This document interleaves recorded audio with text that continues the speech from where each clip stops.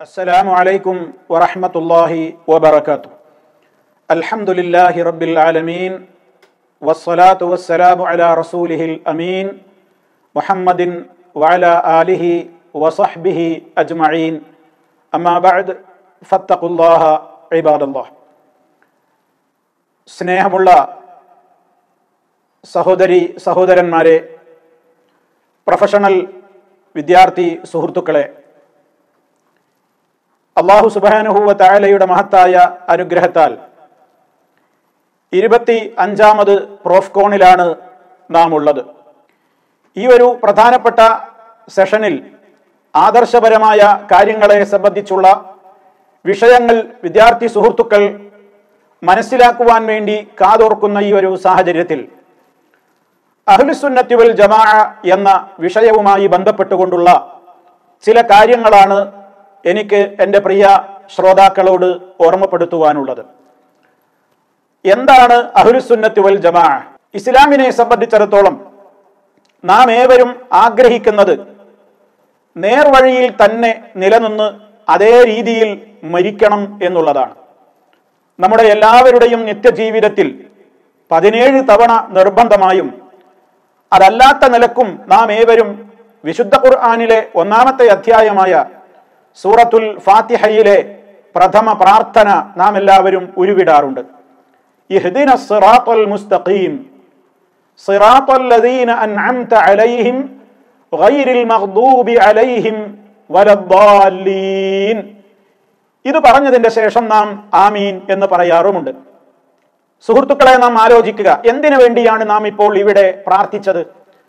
ഇഹ്ദിന സിറാത്തുൽ മുസ്തഖീം. ചൊവ്വായ പാതയിലേക്ക് നീ ഞങ്ങളെ വഴി നടത്തേണമേ. നീ ഞങ്ങളെ അതിൽ ചേർക്കേണമേ. ഏതാണ് ആ വഴി? അലൈഹിം. നീ അനുഗ്രഹിച്ചവരാരോ അവരുടെ വഴി. അതിലാണ് നീ ഞങ്ങളെ ചേർക്കുകയും ഉറപ്പിച്ചു നിർത്തുകയും ചെയ്യേണ്ടത്. ഗൈരിൽ മഹ്ദൂബി അലൈഹിം വലദ്ദാലീൻ നിന്റെ കോപത്തിന് വിധേയരായവരുടെ വഴിയിലല്ല. അതിൽ ചേർക്കരുത്.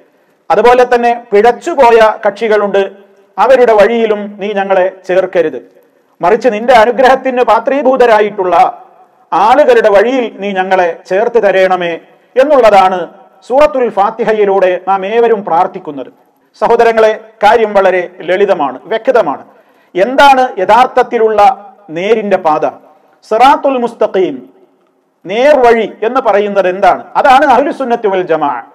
അതാണ് പരിശുദ്ധ ഖുർആൻ നമുക്ക് പരിചയപ്പെടുത്തി തന്നിട്ടുള്ള യഥാർത്ഥത്തിലുള്ള വിജയത്തിന്റെ വഴി എന്ന് പറയുന്നത് അള്ളാഹുവിന്റെ അനുഗ്രഹം ലഭിച്ചിട്ടുള്ള ആളുകൾ നടന്നുപോയ വഴി അവർ കാണിച്ചു തന്നിട്ടുള്ള വഴി അതേതാണെന്ന് വിശുദ്ധ ഖുർആൻ തന്നെ കൃത്യമായി നമ്മുടെ ശ്രദ്ധയിൽ കൊണ്ടുവരുന്നുണ്ട് ومن يطع الله والرسول فأولئك مع الذين أنعم الله عليهم من النبيين والصديقين പരിശുദ്ധ ഖുർആൻ പറയുന്നു അള്ളാഹുവിനെയും അള്ളാഹുവിന്റെ റസൂലിനെയും ഒക്കെ ആര് അനുസരിച്ച് ജീവിക്കുന്നുവോ? അവർ അള്ളാഹു അനുഗ്രഹിച്ചവരോടൊപ്പമാണ്. സ്വർഗത്തിൽ അവർക്ക് അള്ളാഹു അനുഗ്രഹിച്ചവരുടെ കൂടെയാണ് ഇടം ലഭിക്കുക. ഇനിയാണ് നമ്മൾ മനസ്സിലാക്കേണ്ടത് ആരാണ് അള്ളാഹു അനുഗ്രഹിച്ച ആ വിഭാഗം? മിനൻ നബിയീന പ്രവാചകന്മാർ. സത്യസന്ധന്മാരെന്നറിയപ്പെടുന്ന സദ്ദീഖുകൾ. വശുഹദായി ദീനിന്റെ മാർഗത്തിൽ രക്തസാക്ഷിത്വം വരിച്ചിട്ടുള്ള മഹാരഥന്മാർ. വസ്വാലിഹീൻ സൽക്കർമ്മികളായ സച്ചരിതരായ സജ്ജനങ്ങളായ ആളുകൾ. ഈ നാല് വിഭാഗത്തിന്റെ വഴിയിലാണ് നീ ഞങ്ങളെ ചേർക്കേണ്ടത്. അതേ അവസരത്തിൽ നിന്റെ ശാപത്തിനും നിന്റെ കോപത്തിനുമൊക്കെ വിധേയമാക്കാൻ അവരെ അർഹരാക്കിയ ഒരുപാട് പിഴച്ച കക്ഷികളുണ്ട്. അതിൽ യഹൂദികൾ മുന്നിലുണ്ട് നസറാനികൾ മുന്നിലുണ്ട് അവരുടേതായ സമാനമായ ആശയങ്ങൾ വെച്ചു പുലർത്തുന്ന ധാരാളം കക്ഷികളുണ്ട്. അവരുടെ ഒന്നും വഴിയിൽ നീ ഞങ്ങളെ ചേർക്കരുത്. നേരെ മറിച്ച് നീ അനുഗ്രഹിച്ച ഈ മഹാരഥന്മാരായ ആളുകളുടെ മാർഗത്തിലാണ് നീ ഞങ്ങളെ ചേർക്കേണ്ടത്. ഇതാണ് വളരെ ഭക്തി പുരസ്സരം ഭക്തിയോടുകൂടി നാം ഏവരും പ്രാർത്ഥിച്ചു കൊണ്ടിരിക്കുന്നത്. സഹോദരങ്ങളെ ഈ ഒരു മാർഗത്തെ സംബന്ധിച്ച് തന്നെയാണ് നബി സല്ലാഹു അലൈഹി വസല്ലമ വിശുദ്ധ ഖുർആാനിന്റെ മറ്റൊരു വചനത്തിലൂടെ നമ്മുടെ ശ്രദ്ധയിൽ കൊണ്ടുവന്നതും. وأن هذا صراطي مستقيما فاتبعوه ولا تتبعوا السبل فتفرق بكم عن سبيله ذلكم وصاكم به لعلكم تتقون അള്ളാഹു പറയുകയാണ് വഅന്ന ഹാദാ സിറാത്തി മുസ്തഖീമ ഇതാണ് എൻ്റെ നേരായ പാത ഇതാണ് എൻ്റെ ശരിയായ പാത ഫത്തബിഊഹു നിങ്ങൾ അതിനെയാണ് പിൻപറ്റേണ്ടത് വലാ തത്തബിഉ സുബുൽ ഇതര മാർഗങ്ങളെ നിങ്ങൾ പിൻപറ്റരുത് അങ്ങനെ എന്റെ മാർഗം വിട്ട് ഇതര മാർഗങ്ങളെ നിങ്ങൾ പിൻപറ്റിയാൽ നിങ്ങളെ യഥാർത്ഥ വഴിയിൽ നിന്ന് അത് തെറ്റിച്ചു കളയും. ഇത് നിങ്ങളോട് വളരെ ഗൗരവത്തോടുകൂടി ഉപദേശിക്കുന്നത് നിങ്ങൾ ഭക്തിയുള്ളവരായി ജീവിക്കുവാൻ വേണ്ടിയാണ് എന്ന് അള്ളാഹു സുബാനുഭൂവത്താല ഓർമ്മപ്പെടുത്തുന്നു. അപ്പോൾ നാം അള്ളാഹുവിനോട് തേടിക്കൊണ്ടിരിക്കുന്ന സിറാത്തുൽ മുസ്തഖീം ആ നേരായ പാത ആ നേരായ പാതയെ സംബന്ധിച്ച് തന്നെയാണ് നബി സല്ലാഹു അലഹി വസ്ല്ലമ വിശുദ്ധ ഖുർആാനിന്റെ വചനത്തിലൂടെ അള്ളാഹു നമുക്ക് അറിയിച്ചു തരുന്നത് എന്താണ് ഇതാണ് എന്റെ പാത അതിൽ മുറുകെ പിടിക്കണം അതിൽ നിന്ന് തെറ്റിപ്പോകരുത് എന്ന് പറഞ്ഞതും ഇനിയും നമുക്ക് കാണാൻ സാധിക്കും പരിശുദ്ധ ഖുർആാനിലെ മറ്റൊരു വചനം ومن يشاقق الرسول من بعد ما تبين له الهدى ويتبع غير سبيل المؤمنين نوله ما تولى ونسله جهنم وساءت مصيرا ഇവിടെ നമ്മൾ പ്രത്യേകം ശ്രദ്ധിക്കുക ഇവിടെ എന്താണ് അള്ളാഹു സുബാനുഭവത്തായാലും പറയുന്നത്? വളരെ കൃത്യമായി നമ്മുടെ ശ്രദ്ധയിൽപ്പെടുത്തുന്ന കാര്യം എന്താണ് ഇവിടെ അള്ളാഹു സുബാനുഹുവ താല പറയുന്നത്? ആരെങ്കിലും മുഹമ്മദ് മുസ്തഫ സല്ലല്ലാഹു അലഹി വസല്ലം അതാണല്ലോ നമ്മിലേക്ക് അയക്കപ്പെട്ട ആ ദൂതൻ ആ റസൂലിന്റെ മാർഗം ആ മാർഗം വളരെ കൃത്യമായി മനസ്സിലാക്കിയതിന്റെ ശേഷവും അതിനോട് മാത്സര്യം കാണിച്ചുകൊണ്ട് ആരെങ്കിലും തെറ്റിപ്പോയാൽ അതുപോലെ തന്നെ സബീലിൽ മുഅ്മിനീന. മുഅ്മിനീങ്ങളുടെ വഴി അല്ലാത്തൊരു വഴിയെ ആരെങ്കിലും അനുഗമിക്കുകയും പിന്തുടരുകയും ചെയ്താൽ അവൻ നരകത്തിലേക്കാണ് എത്തിച്ചേരുക എന്നുള്ളതാണ് വിശുദ്ധ ഖുർആൻ വളരെ കൃത്യമായി നമുക്ക് പഠിപ്പിച്ചു തരുന്ന ആശയം. ഇവിടെയും നമ്മൾ മനസ്സിലാക്കിയിരിക്കേണ്ടത് റസൂലിന്റെ പാതയല്ലാത്തൊരു പാത അതാണല്ലോ അതിനോട് മത്സരം കാണിക്കുക എന്ന് പറഞ്ഞാൽ. മുഅ്മിനീങ്ങളുടെ വഴി അല്ലാത്തൊരു വഴി അതാണല്ലോ ഇസ്ലാം പഠിപ്പിച്ച ആ മഹാരഥന്മാരായ അള്ളാഹു അനുഗ്രഹിച്ചവരെന്ന് പറയുന്ന ആളുകളുടെ വഴിയിൽ നിന്ന് വിഭിന്നമായ വഴി. ഈ വഴിയിലാണ് ഒരാൾ പോകുന്നതെങ്കിൽ അവന് നരകമായിരിക്കും എന്നുള്ളതാണ്. ഇതാണ് നബി സല്ലല്ലാഹു അലൈഹി വസല്ലം വളരെ കൃത്യമായി നമ്മെ പഠിപ്പിച്ച മറ്റൊരു കാര്യമുള്ളത്. നമ്മൾ സാധാരണ കേൾക്കുന്നതാണ്. വിവിധ സമുദായങ്ങൾക്ക് സംഭവിച്ച അപജയങ്ങളും അപകടങ്ങളും നബി സല്ലല്ലാഹു അലൈഹി വസല്ലമിന്റെ വചനങ്ങളിലൂടെ നാം ധാരാളമായി കേൾക്കാറുണ്ട്. ജൂതന്മാർ എഴുപത്തി ഒന്ന് സംഘമായി ഭിന്നിച്ചു എന്നും. അതുപോലെ തന്നെ നസറാനികൾ ക്രിസ്ത്യാനികൾ എഴുപത്തി രണ്ട് സംഘമായി ഭിന്നിച്ചുവെന്നും ഈ ഉമ്മത്ത് എഴുപത്തി ഈ സമുദായം എഴുപത്തി മൂന്ന് വിഭാഗമായി ഭിന്നിക്കുമെന്നും. അവരിൽ ഒരു വിഭാഗമല്ലാത്ത എഴുപത്തിരണ്ട് വിഭാഗവും നേർവഴി വിട്ട് പോയവരായിരിക്കുമെന്നും നേരിന്റെ പാതയിൽ രക്ഷപ്പെടുന്ന ഒരൊറ്റ വിഭാഗമാണ് ഉണ്ടായിരിക്കുക എന്നും നബി സല്ലാഹു അലഹി വസ്ല്ലം പറഞ്ഞു. ആരാണവരെന്ന് ആകാംക്ഷയോടെ വളരെ ഗൗരവത്തോടുകൂടെ തന്നെയുള്ള ഒരു വിഷയം കേട്ടല്ലോ എന്ന നിലയ്ക്ക് സഹാബിമാർ നബി സല്ലാഹു അലൈഹി വസല്ലമിനോട് ആരാഞ്ഞപ്പോൾ നബി സല്ലാഹു അലൈഹി വസല്ലം പറഞ്ഞു ഹും മാ അന അസ്ഹാബി. അവർ ആരാണ്? ഇന്ന് ഞാനും എന്റെ അനുയായികളും എന്റെ സഹാബത്തും നിലക്കൊള്ളുന്ന കാര്യങ്ങളിൽ അഥവാ വിശ്വാസ ആചാര അനുഷ്ഠാന കാര്യങ്ങളിൽ നബി സല്ലാഹു അലൈഹി വസല്ലമും ആ നബി സല്ലാഹു അലൈഹി വസല്ലമിനെ കാണുവാനും അവിടുത്തെ ശബ്ദം കേൾക്കുവാനും അവിടുത്തോടൊരുമിച്ചിരിക്കുവാനും ഒക്കെ സൗഭാഗ്യം ലഭിച്ച മഹാരഥന്മാരായ സഹാബിമാർ അള്ളാഹു അവരെ തൃപ്തിപ്പെട്ടിരിക്കുന്നു. അവർ അള്ളാഹുവിനെയും തൃപ്തിപ്പെട്ടിരിക്കുന്നു എന്ന് വിശുദ്ധ ഖുർആൻ വിശേഷിപ്പിച്ചിട്ടുള്ള സഹാബത്ത്. ആ സഹാബത്തും നബിയും സഹാബത്തിന്റെയും മാർഗം. അതിൽ ആരാണ് നിലകൊള്ളുന്നത്? അവരാണ് യഥാർത്ഥത്തിൽ രക്ഷപ്പെടുന്ന വിഭാഗം എന്ന് നബി സല്ലാഹു അലഹി വസ്ല്ലം പറയുകയാണ്. അപ്പൊ സഹോദരങ്ങളെ അഹ്ലുസുന്നത്തി വൽ ജമാ എന്ന് പറഞ്ഞാൽ ആരാണ്? അവരാണ് രക്ഷപ്പെട്ട വിഭാഗം.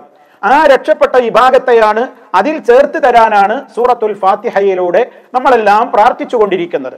അതാരുടെ വഴിയാണെന്നും ബോധ്യമായി. പ്രവാചകന്മാർ ആ പ്രവാചകന്മാരിൽ അന്ത്യപ്രവാചകനായ മുഹമ്മദ് നബി സല്ലാഹു അലൈഹി വസല്ലം ആ നബി സല്ലാഹു അലൈഹി വസല്ലമിനെ കൃത്യമായി തന്നെ പിന്തുടർന്ന സഹാബാ കിറാം.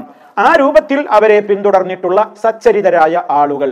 അവരുടെ വഴിയാണ് ആ രൂപത്തിലുള്ള വഴിയിൽ ചേർന്ന് നിൽക്കുന്ന ആളുകളാണ് അഹുരുസുന്നത്തി വൽ ജമാ അതല്ലെങ്കിൽ അൽ ഫിർഖത്തു നാജിയ രക്ഷപ്പെട്ട കക്ഷി എന്നൊക്കെ വിശേഷിപ്പിക്കപ്പെടുന്നവർ.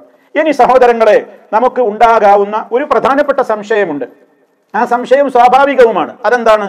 എല്ലാ ആളുകളും എല്ലാ വിഭാഗം കക്ഷികളും ഞങ്ങളാണ് അഹുലുസുന്നത്തി വൽ ജമാഅയുടെ വക്താക്കളെന്നും ഞങ്ങളാണ് രക്ഷപ്പെട്ട വിഭാഗമെന്നും ഞങ്ങളാണ് സ്വർഗാവകാശികളെന്നും ഞങ്ങളാണ് നേരിന്റെ പാതയിൽ മുന്നോട്ട് പോകുന്നവരെന്നും അവകാശപ്പെടുന്നുണ്ടല്ലോ.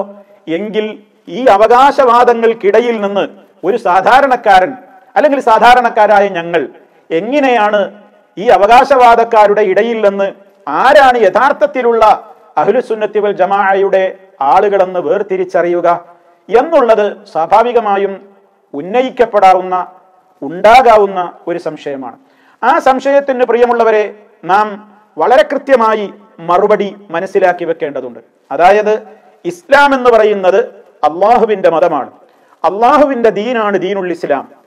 ആ ദീനുൽ ഇസ്ലാമിന്റെ ഓരോ കാര്യങ്ങളും അതിലെ വിശ്വാസ കാര്യങ്ങൾ അനുഷ്ഠാന കാര്യങ്ങൾ ആചാരങ്ങൾ സ്വഭാവങ്ങൾ ഇടപാടുകൾ ഇടപെടലുകൾ എല്ലാ കാര്യങ്ങളിലും ഇസ്ലാമിന്റെ കൃത്യമായ കാഴ്ചപ്പാടുകൾ അള്ളാഹു സുബാനുഭൂവത്തായ അന്ത്യപ്രവാചകനായ മുഹമ്മദ് നബി സല്ലാഹു അലൈഹി വസല്ലമിന് വഹയിലൂടെ അറിയിച്ചു കൊടുത്തിട്ടുണ്ട്. അവിടുന്ന് അവിടുത്തേക്ക് ലഭിക്കുന്ന ഓരോ വഹയുകളും യഥാസമയം അവിടുത്തെ ഉന്നതരായ ശിഷ്യരായ സഹാബ കിറാം റളിയല്ലാഹു അൻഹും അവർക്ക് അറിയിച്ചു കൊടുത്തിട്ടുമുണ്ട്. ആ നിലയ്ക്ക് അവർ വിശ്വസിച്ച് ആദരിച്ച് അനുഷ്ഠിച്ചു പോന്നിട്ടുള്ള ആ ഒരു വഴിത്താരയിലൂടെ മുന്നോട്ട് പോകുന്ന ആളുകൾ ആരാണ് ഇന്ന് വിവിധ കക്ഷികൾക്കിടയിലുള്ളത് എന്ന് കൃത്യമായി പരിശോധിക്കുകയാണ് വേണ്ടത്. നബി സല്ലല്ലാഹു അലൈഹി വസല്ലം പറഞ്ഞ മാനദണ്ഡം നമ്മൾ മറന്നു പോകരുത്. മാ അന അലൈഹി വാസ്ഹാബി ഞാനും എന്റെ സഹാബിമാരും നിലക്കൊള്ളുന്ന മാർഗം എന്നാണല്ലോ അതിന്റെ ചുരുക്കം. ഇവിടെ ഒരുപാട് വിഷയങ്ങളിൽ തർക്കമുള്ള വിഷയങ്ങളുണ്ട്. പലപ്പോഴും നമ്മൾ കേട്ടുകൊണ്ടിരിക്കുന്നുണ്ട് വിവിധ വിഷയങ്ങളിൽ വിവിധ ആളുകൾക്കിടയിൽ തർക്കങ്ങളുണ്ട്. ഈ തർക്കങ്ങളിൽ ഏതാണ് ശരി ഏതാണ് തെറ്റ് എന്ന് മനസ്സിലാക്കുവാൻ നമ്മുടെ മുമ്പിലുള്ള ഒരു മാനദണ്ഡം വളരെ ലളിതമാണ്. അതായത് ഓരോ വിഷയങ്ങളിലും ഇത് നബി സല്ലാഹു അലൈഹി വസല്ലമും സഹാബത്തിനും പരിചയമുള്ളതാണോ? ഇപ്പൊ ഒരു വിശ്വാസകാര്യം അതല്ലെങ്കിൽ ആ നിലക്കുള്ള ഒരു നമ്മുടെ അതീതയുമായി ബന്ധപ്പെട്ട ഒരു കാര്യത്തെക്കുറിച്ച് നമ്മൾ ആലോചിക്കുമ്പോൾ ഉദാഹരണം ഇന്ന് തർക്കത്തിൽ പല വിഷയങ്ങളുണ്ട്. ആ കൂട്ടത്തിൽ ഒന്നാണ് തൗഹീദിന്റെ വിഷയത്തിലുള്ള തർക്കം. അതായത് അല്ലാത്ത ആളുകളെ വിളിച്ചു പ്രാർത്ഥിക്കാൻ പാടുണ്ടോ? ഇല്ലേ? ഇതെന്ന് മുസ്ലിം സംഘടനകൾ എന്ന് പറയപ്പെടുന്ന ആളുകൾക്കിടയിലുള്ള ഒരു അഭിപ്രായ വ്യത്യാസമാണ്. ചിലർ പറയുന്നു അള്ളാഹുവോടും പ്രാർത്ഥിക്കാം മറ്റുള്ളവരോടും പ്രാർത്ഥിക്കാം. അതിന് അള്ളാഹു അനുവാദം തന്നിട്ടുണ്ട് എന്ന്.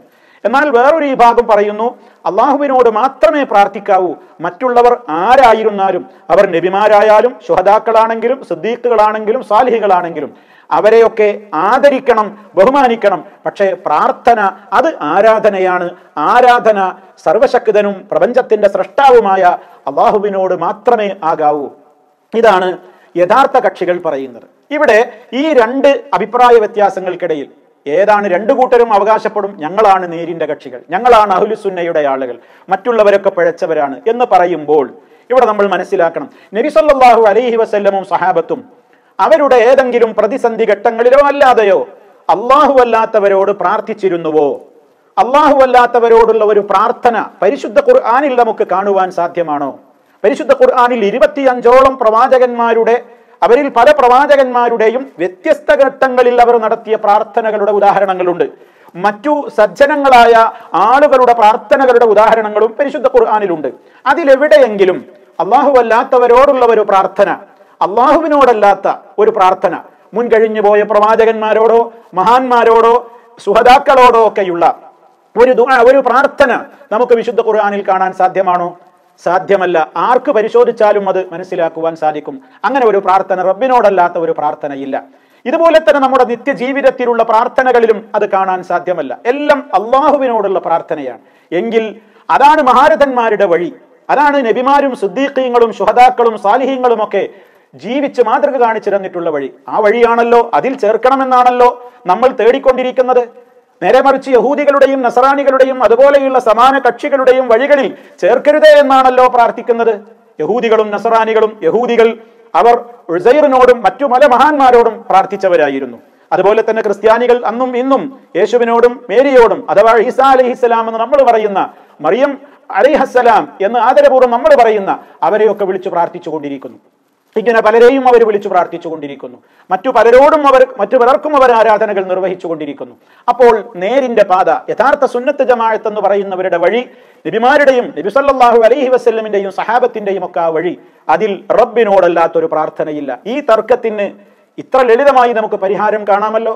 ഇതുപോലെ തന്നെ മഹാരഥന്മാരായ ആളുകളുടെ കബറുകൾ അവരുടെ അടക്കം ചെയ്തിട്ടുള്ള ഖബറുകൾ. അത് ഇസ്ലാമിന്റെ നിയമം ഒരു ചാണിലപ്പുറം ഉയർത്താൻ പാടില്ല എന്നുള്ളതാണ്. എന്നാൽ ഇന്ന് രാജ്യത്തിന്റെ വിവിധ ഭാഗങ്ങളിൽ ദർഗകളും മക്കാമുകളും ജാറങ്ങളും ഒക്കെ വളരെ ഉയരത്തിൽ തലപൊക്കി നിൽക്കുകയാണ്. ഇത് പാടുണ്ടോ? അതിന്മേൽ പട്ട് വിരിക്കുകയാണ്. അവിടെ വിളക്ക് കത്തിക്കുകയാണ്. അതുപോലെ തന്നെ സുഗന്ധദ്രവ്യങ്ങൾ പുകക്കുകയാണ്. അവിടെ ചെന്ന് ആളുകൾ പ്രാർത്ഥിക്കുകയാണ്. അതിന്മേൽ തൊട്ടുമുത്തുകയാണ് അതിനെ വന്ദിക്കുകയാണ്. അവരോട് സങ്കടങ്ങൾ പറയുകയാണ്. ആഗ്രഹ സഫലീകരണത്തിന് വേണ്ടി അവിടെ കാണിക്കയും നേർച്ചയും ഒക്കെ അർപ്പിച്ചുകൊണ്ടിരിക്കുകയാണ്. ഈ ഒരു തർക്കം ഇത് ശരിയാണോ അല്ലേ? അത് ചെയ്യുന്നവർ പറയുന്നു ഞങ്ങളാണ് നേരിന്റെ കക്ഷികൾ എന്ന് അതിനെ എതിർക്കുന്നവർ പറയുന്നു ഞങ്ങളാണ് നേരിന്റെ കക്ഷികൾ എന്ന് ഈ അഭിപ്രായ വ്യത്യാസത്തിൽ നമ്മൾ എങ്ങനെ ഏത് മാനദണ്ഡത്തിൽ കാര്യം മനസ്സിലാക്കും? സഹോദരങ്ങളെ നബിക്കും അതുപോലെ തന്നെ സഹാബത്തിനും റളിയല്ലാഹുവിനും നബി സല്ലല്ലാഹു അലൈഹി വസ്ല്ലമിനുമൊക്കെ ഈ രൂപത്തിലുള്ള ഒരു സമ്പ്രദായം അവരുടെ കാലഘട്ടത്തിൽ നമുക്ക് കാണാൻ സാധ്യമാണോ? അവർ മാതൃക കാണിച്ചതായി കാണാൻ കഴിയുമോ നബി സല്ലാഹു അലൈഹി വസ്ല്ലം? ഇല്ല. ഇല്ല. മറിച്ച് അത് യഹൂദികളുടെയും നസറാനികളുടെയും ദുരാചാരമാണെന്നാണല്ലോ ഇസ്ലാം പഠിപ്പിച്ചു തന്നിട്ടുള്ളത്.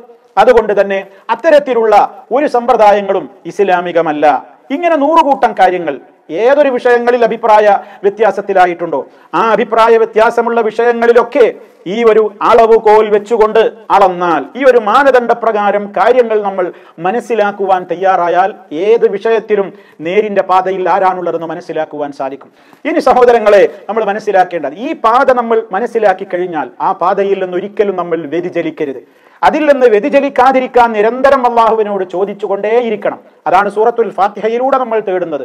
അതുപോലെ വിശുദ്ധ ഖുർആൻ നമുക്ക് പഠിപ്പിച്ചിരുന്നു റബ്ബന ലാ തുസിഖ് ഖുലൂബന ബഅദ ഹദൈതനാ വഹബ് ലനാ മിൻ റഹ്മ ഇന്നക അൻതൽ വഹാബ്. ആ പ്രാർത്ഥനയിലും അങ്ങനെ തന്നെയാണ്. നീ ഞങ്ങളെ നേർവഴിയിലാക്കിയതിന്റെ ശേഷം നീ ഞങ്ങളുടെ ഹൃദയങ്ങളെ നീ തെറ്റിച്ച് കളയരുതേ രക്ഷിതാവേ എന്ന് നമ്മൾ പ്രാർത്ഥിക്കേണ്ടതുണ്ട്. കാരണം ഈ പാതയിൽ ആളുകൾ എത്രയുണ്ട്? അല്ലെങ്കിൽ നേരിന്റെ പാതയിൽ എത്ര ആളുകളുടെ എണ്ണമുണ്ട് എന്ന് നോക്കിയിട്ടല്ല നേർ വഴിയുടെയും നേർ പാതയുടെയും കാര്യങ്ങളെ മനസ്സിലാക്കേണ്ടത്. മറിച്ച് പരിശുദ്ധ ഖുർആൻ തന്നെ പറഞ്ഞു ബഹുഭൂരിപക്ഷം ആളുകളും സത്യത്തിലല്ല എന്ന്.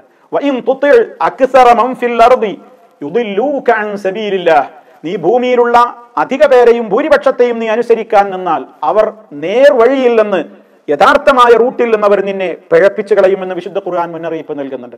അതുകൊണ്ട് തന്നെ വളരെ കൃത്യമായി സുന്നത്ത് ജമാഴത്ത് നേർമാർഗം രക്ഷപ്പെട്ട വിഭാഗം അവരുടെ നടപടിക്രമങ്ങളും വിശ്വാസങ്ങളും എന്താണെന്ന് കൃത്യമായി മനസ്സിലാക്കുകയും ആ പാതയിൽ നിന്ന് ഒരിക്കലും വ്യതിചലിക്കാതിരിക്കാൻ വേണ്ടി വളരെ കൃത്യമായ ജാഗ്രത കൈക്കൊള്ളുകയും അതിനുവേണ്ടി റഹ്മാനായ റബ്ബിനോട് നിരന്തരമായി പ്രാർത്ഥിക്കുകയും ചെയ്യൽ നമ്മുടെ കടമയാണ്. ആ രൂപത്തിലായിരിക്കണം നമ്മുടെ മുന്നോട്ടുള്ള ഗമനം. അത് വിശദമായി തന്നെ നമുക്ക് മനസ്സിലാക്കുവാൻ പരിശുദ്ധ ഖുർആാനിന്റെ കൃത്യമായ പഠനങ്ങൾ നമ്മുടെ ജീവിതത്തിൽ ഉണ്ടാകണം നബി സല്ലാഹു അലൈഹി വസല്ലമിന്റെ അധ്യാപനങ്ങൾ കല്ലും നെല്ലും വേർതിരിക്കപ്പെട്ടുകൊണ്ട് അഥവാ നബി സല്ലല്ലാഹു അലൈഹി വസ്ല്ലമിന്റെ അധ്യാപനങ്ങൾ എന്ന പേരിൽ സമൂഹത്തിൽ പലതും ഉണ്ടാകും അതുകൊണ്ടാണ് കല്ലും നെല്ലും വേർതിരിക്കപ്പെടേണ്ടത് എന്ന് പറയേണ്ടി വരുന്നത്. മറിച്ച് നബി സല്ലല്ലാഹു അലൈഹി വസ്ല്ലമിന്റെ അധ്യാപനങ്ങൾ പൂർണമായും ശരിയാണ്. ആ അധ്യാപനങ്ങളാണെന്ന പേരിൽ ചില വ്യാജ ഹദീസുകളും അതുപോലെയുള്ള വർത്തമാനങ്ങളുമൊക്കെ സമൂഹത്തിൽ ഇതാണ് നേരെന്ന് പറയുന്ന പറഞ്ഞുകൊണ്ട് പ്രചരിപ്പിക്കുന്നുണ്ട് ആളുകൾ. അതിൽ പെട്ടുപോകാതിരിക്കുവാനുള്ള ജാഗ്രതയും ആവശ്യമാണ്. അതിനൊക്കെ അനിവാര്യമായത് ഷറയിയായ കൃത്യമായ അറിവാണ്. ആ അറിവ് നേടിയെടുക്കുവാൻ നമുക്ക് മുമ്പിലുള്ള പ്രമാണങ്ങളാണ് പരിശുദ്ധ ഖുർആാനും നബി സല്ലാഹു അലൈഹി വസല്ലമിന്റെ സഹീഹായ വചനങ്ങളും. അത് കൃത്യമായി പഠിക്കുകയും മനസ്സിലാക്കുകയും അത് ആദ്യ സമുദായമായ ഉത്തമ സമൂഹമായ സഹാബത്ത് എങ്ങനെയാണോ ഗ്രഹിച്ചത്? ആ ഗ്രഹിച്ചതിന് വിപരീതമായ നിലയ്ക്ക് ഗ്രഹിക്കാതെ അവർ ഗ്രഹിച്ചതുപോലെ വിശ്വാസങ്ങൾ ഉൾക്കൊള്ളുകയും ചെയ്തുകൊണ്ട് നേരിന്റെ പാതയിൽ നാം ഉറച്ചു മുന്നോട്ട് പോകേണ്ടതുണ്ട്. ആ പാതയിൽ തന്നെ നിലനിന്ന് മരിക്കുവാൻ വേണ്ടി എല്ലാ ഘട്ടത്തിലും ആത്മാർത്ഥമായി പ്രാർത്ഥിക്കുകയും ചെയ്യേണ്ടതുണ്ട്. ആ രൂപത്തിൽ നാം കാര്യങ്ങൾ ഗ്രഹിക്കുക.